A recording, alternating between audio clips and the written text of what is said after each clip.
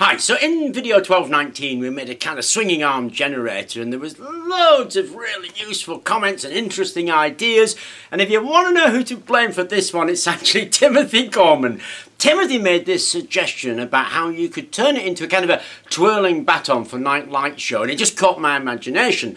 I'm sure such things exist and I'm also sure that they run on batteries so the idea of having a batteryless kind of green lasts forever something you can do with it that just be quite fun really just got me so I thought I'd give that a go. Now the issue here obviously is running the wires up to a light because sticking a light on the end and running up some wires, eh, piece of cake. But the thing's twirling so if we stick a lot of wires in there then all that's going to happen is it's going to wrap around and snap. Interestingly enough however, and this is done a lot on cars, is that the return path is very often through the body of the material. So here's the bar, I've taken it apart. This is the thread end where the ball went and this is attached to the generator. This can be used as the return, the neutral, the um, negative, if you like. And we could also use that if we can insulate it. So right at the end there, I've put some heat shrink. I've put enough heat shrink on there so I can jam on a 5mm bearing. So that bearing goes in there. And if I stick a bit of wire in there, we should be able to get that bearing to contact on the wire and get electrical contact through the bearing. So let's stick some wire on there. Okay, so there it is. I've jammed that roller bearing over a bit of bare wire. And the idea is that the outside of that roller bearing should act as a slip ring. So if we jam another wire on the outside, then we'll be able to turn it and yet contact. And I've taken it up to the end here. So if I connect an LED to that,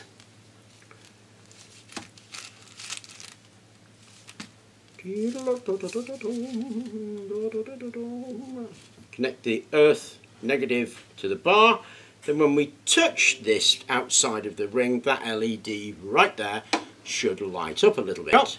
We get our LED lighting. So that is acting as a slip ring, which is kind of cool. So now we can connect this all back up and stick the LED on the end. Wire that in place and we can quickly check it. Yep, there we go, working nicely. Now we can put it back onto the generator. Okay, now it's actually continuous all the way through. So if I attach the um, negative to the case, then that will give me a path through the brass and all the way up to here. And then if I attach the positive to the wire that we clamped on the outside of the ball bearing, that will act as a slip ring and then we can give it a spin and we should get some generation out of it. So I'm going to turn the light off so we get a better view.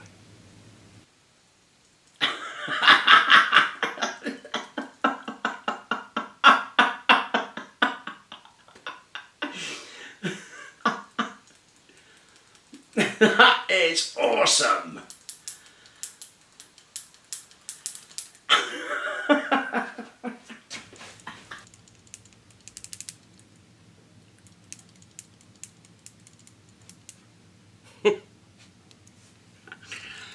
Okay, so I swapped, I swapped the bulb actually for the strip because I thought it'd give a better light show.